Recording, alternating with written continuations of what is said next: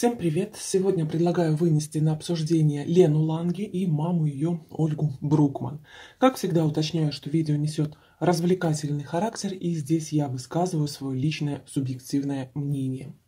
Лена Ланге появилась на ютубе с роликом «Ненавижу безденежье». Кто ж его любит? Стремно. Не хватило денег а, на кассе. Суть а, в том, что у Лены на кассе не прошла оплата по карте. Не хватило средств, и кассир ей об этом сказала. Лене стало так неудобно, что она нам полролика рассказывает, что неправильно так говорить. Лучше вместо «недостаточно средств» говорить «не прошла оплата». Что-то пошло не так. Вы знаете, я не согласна с этим от слова «совсем». Если говорят недостаточно средств, я сразу понимаю, что к чему, какова конкретная причина, почему не прошла моя карта. Она простая и очевидная, на карте просто нет денег.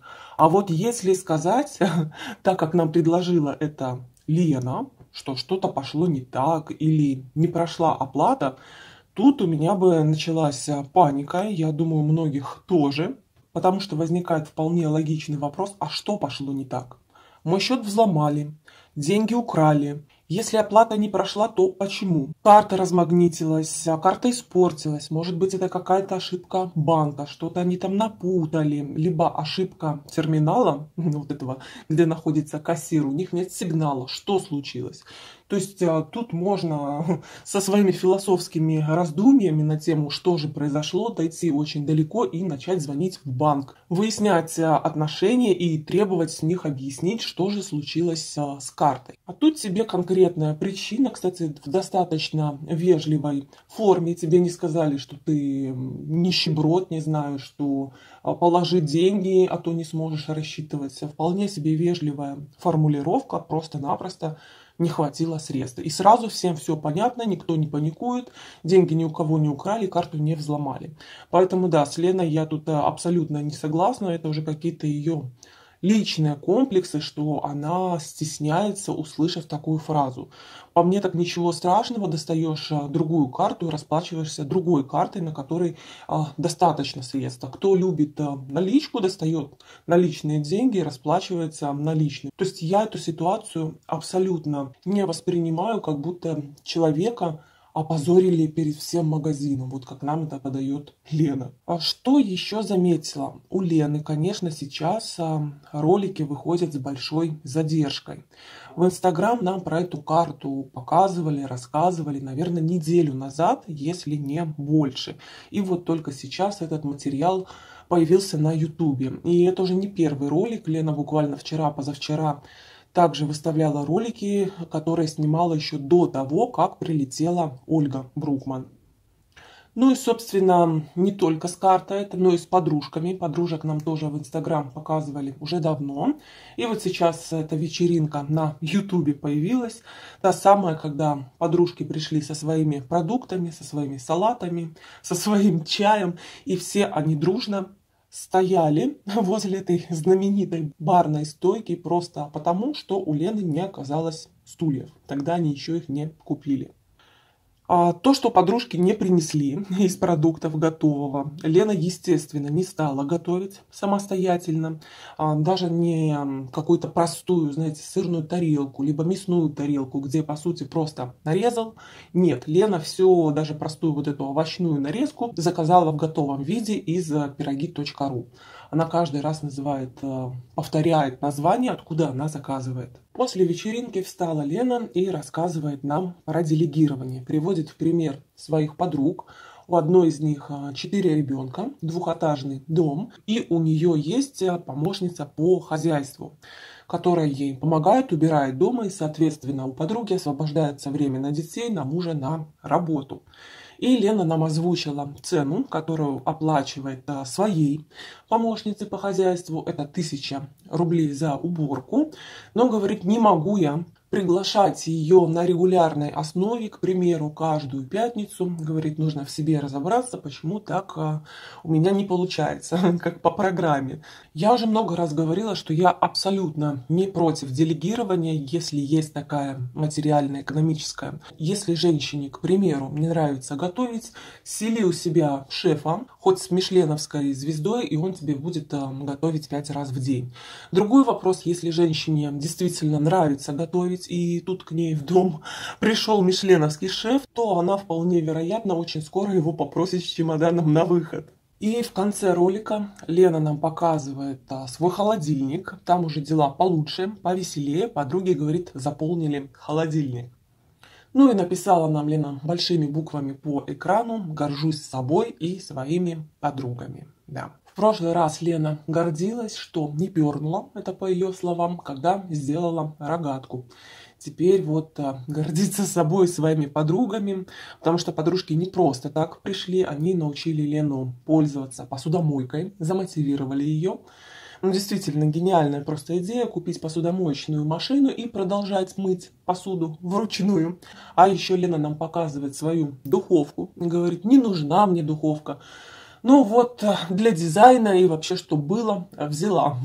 Поэтому, да, духовка имеется. Может быть, в следующий раз подружки ей тоже подскажут, что можно ту же рыбу ее красную готовить в этой самой духовке. Еще проще будет, чем на сковородке. Ну и в Инстаграм Лена нам поставила такой рекламный пост а, про мастер-класс, куда она ходила, азиатская, тайская кухня.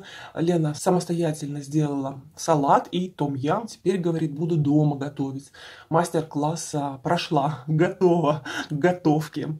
Не знаю, что-то я очень сильно в этом сомневаюсь, что даже после мастер-класса кто-то там что-то будет а, готовить. Это после духовки, которая не нужна, но она как декор неплохо смотрится.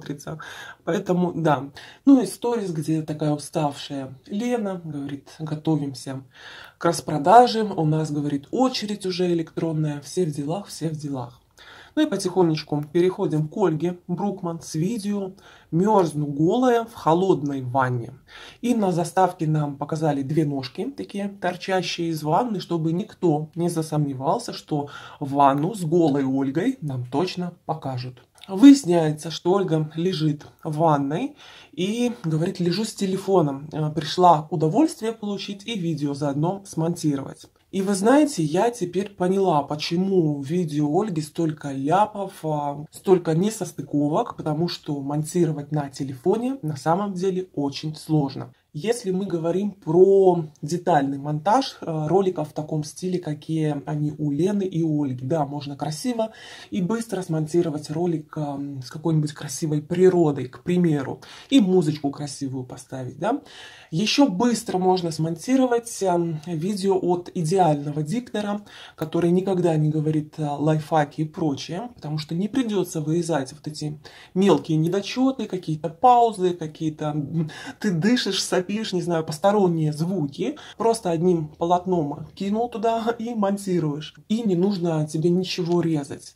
Если же мы говорим про вот эти ляпы, про тот стиль, в котором снимают Лена и Ольга, то тут, конечно, требуется более детальный монтаж, и на телефоне это делать очень неудобно. Я проверяла, а по времени получается раза в три, наверное, больше, чем на компьютере. Просто неудобно, маленький дисплей, ты начинаешь резать а, звуковую дорожку, чтобы вырезать какой-то короткий кусочек. И, конечно, это целое приключение. Поэтому, да, либо вот одним полотном все закидывать на телефон и не резать, либо тогда уже переходить а, на монтаж за компьютером. Это значительно сократит твое время время. Хотя, да, согласна, с телефоном очень так комфортно, ты сидишь в очереди, якобы монтируешь ты еще где-то, опять же можешь монтировать. Но на практике это, первое, долго, а во-вторых, очень много ляпов остается. И при таком количестве подписчиков, как у Ольги и у Лены, это уже, знаете, не очень хорошо, когда блогер до сих пор монтирует на телефоне, то есть не заботится о качестве своего видео. Еще Ольга нам говорит, что горячая вода у нее закончилась, получилось у нее набрать только половину ванны, потом резко вдруг потекла холодная вода, и пока Ольга дотянулась, чтобы выключить эту воду, а, вся та вода, которая была теплая, тоже остыла. Но заметьте, Ольга лежит, мерзнет, монтирует и умудряется снимать нам видео, при этом все это в холодной воде, и нормально ей главное контент отснять. Дальше у нас а, возникает черный экран, черный прямоугольник практически Малевича. Ольга не стала это вырезать, посчитала, что очень важно нам увидеть вот этот черный прямоугольник и закадровые голоса Лены и Ольги, их беседу.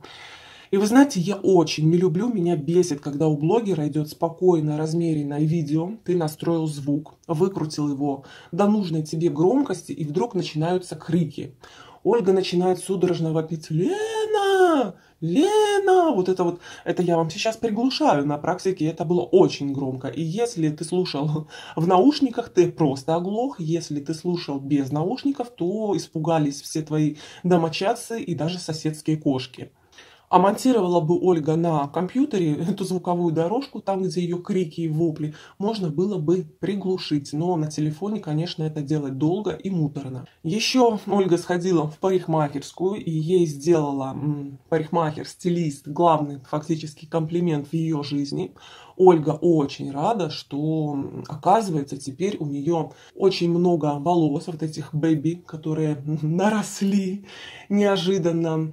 И Ольга начинает, собственно, искать причину, что да как, да почему отросли волосы, никогда такого не было, и приходит к выводу, что во всем виновата, вернее, благодаря это все правильному питанию действительно интересный факт, что же там за такое питание, что от него даже волосы колосятся на голове за три месяца, заметьте. Это какие-то волшебные маффины и волшебная заливная рыба, не, заливной пирог с рыбой. Не зря же этот пирог Ольга с собой даже брала из Калифорнии, когда летела в Россию. Вот все правильно делала, теперь видите, как волосы отросли. Там, глядишь, и грудь отрастет, а попа подкачается сама по себе.